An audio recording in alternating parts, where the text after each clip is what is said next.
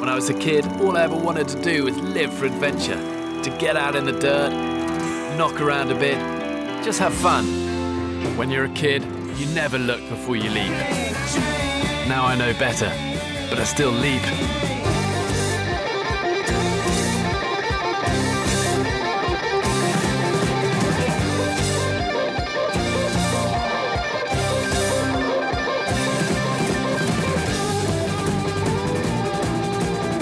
This fall, I'm headed to Panama, Patagonia, and the Sahara Desert.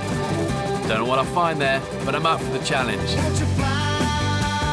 People always ask me, what do you want to be when you grow up? Grow up? Why on earth would I want to do that?